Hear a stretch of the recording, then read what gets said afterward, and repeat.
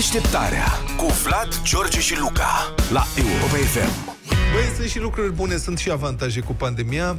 Nu știu dacă ați auzit, dar uh, la fitness în Corea de Sud, Așa. în Seul, deci în zona respectivă s-a dat lege sau ceva ordonanță, nu mai e voie să pui muzică prea ritmată. Ca La să, sălile de fitness. ca să, da, ca la săile de fitness și benzile de ale... Deci, melodiile folosite nu trebuie să aibă un ritm mai mare de 120 de bătăi pe minut. Asta să fie maximum. Așa că, în sfârșit, uite, niște săli de fitness care ni se potrivesc și nouă. Și ne urcăm pe benzi, de asemenea, benzile de alergare, viteză maximă limitată la 6 km pe oră. Bun. Băi, deci e perfect pentru noi, îți spun.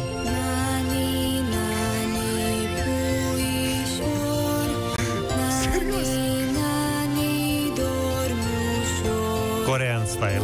Dar dacă ai pe banda de alergare respectivă, care merge cu 6 km pe oră, poți să te urci cu niște rotile. Vezi că 6 km nu sunt chiar puțin. Luca alergă pe puțini? 4 km jumate. Sigur, nu sunt puține, așa Păi este. pantă, fii atent, eu când mergeam la sală, Stai. Opriți, opriți grătarele. Vorbește domnul Pastia.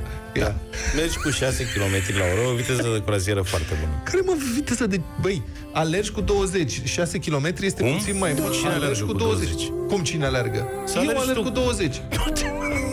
Eu am alergat toată cu 14 și era să zbor de pe aia, ești nebun. Am Nu, făcut un serios. sprint de 6 secunde, era să mor. Păi, nu deci alergi îți spun mult, alergarea... Alergi Luca are și piciorul mic. Da, Eu am fuleu, mă, pasul nu ca des. tine. Da, mă, e... Și acum mă trage și burta în față. Practic, nu e nevoie decât să mă aplec și să o urmez. Deci, Da. Da. Noi nu putem alerga pe benzile alea, că avem pasul mare și nu sunt suficient de lungi. știi? Exact. eu mergeam cu 6, 6,5 km la oră într-o pantă foarte abruptă. Asta e mers, nu e alergat. Asta e un mers alert. Este un mers alert în pantă și Dar tu asta se face foarte bine. Slăbeam în vremea aia ce ca lumea eram. Nebunie. Eliptica n-are același. Dacă știam, nici nu-mi luam. Îmi luam bandă de asta. Eu ți-am zis că tu știi cu ier. Pe eliptica aia ca... Tu ți-ai luat cu ier. Nu e niciun cuier, că merg, Pleacă, mă, de aici. merg în ea ca hamsterul în Nu te roată. supăra. La ce intensitate? Domnule, level 5. Bun. Și câte calorii consumi? 600. Așa, Într-o 600 oră. de calorii. Da. Și tu ai voie să mănânci la cum ești tu acum, maximum am spus 1800. Da. Maxim. Deci, practic, cu alea 600 La de o calorii, masă sau pe zi? tu, asta e, problema e că tu te duci și mănânci ce, ce spune tu în fața Păi stai colectivului, puțin. stai așa, Da, spune ce în fața pregătești colectivului azi? ce pregătești tu de mâncare azi. Păi stai un pic, 1800 minus 600, adică 1200? Nu, 1800 plus 600. Deci îți poți să mănânc adaugi. 2400 de calorii, nu? Da, poți să mănânci. Păi da, și Toată ziua. ce? Păi Toată ziua. cât crezi că Zi, mănânc? Nu, nu, nu, zi, ce Zi. pregătești azi. Fac un aligo.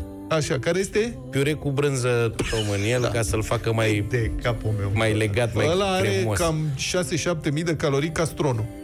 Un castron mănânc. Și la asta mai mănânci și friptură. Murături și două fripturi. Da. Deci, practic, ar trebui Dar să împart mănânci fripturile și cu copiii. doar fripturile. Uh, doar murăturile ar Deci trebui. ar trebui să dormi pe eliptica Deci aia. eliptica Să- este să de fii vină nostru, da. că el mănâncă 20.000 de calorii pe zi. Bă, eliptica asta n-are, mă, nimic, e o prostie. Și beau și o bere. Ești bun, bravo! Dar nu mănânc pâine.